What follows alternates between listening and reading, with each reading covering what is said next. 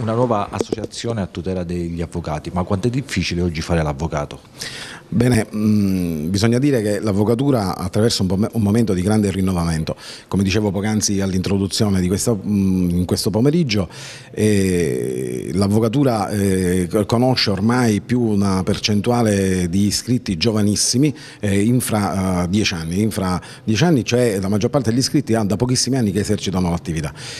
È difficile fare oggi come oggi l'avvocato, non soltanto per la produzione legislativa che è da parte del Parlamento che è incessante, ma anche perché grosse riforme istituzionali sono arrivate ormai anche per gli avvocati, e cioè mi riferisco al processo civile telematico, eh, mi riferisco ormai a quasi arrivo del processo penale telematico, eh, ciò che ha importato ovviamente importa anche costi per gli avvocati. Anche l'accesso alla professione è diventata anch'essa difficile, eh, ricordiamoci che, fra, eh, che sebbene sia stato abbassato al numero di 18 mesi il periodo di pratica forense, eh, va detto che ora sarà obbligatorio per i praticanti partecipare attivamente, iscriversi a delle scuole di, di, di specializzazione per l'avvio alla carriera professionale.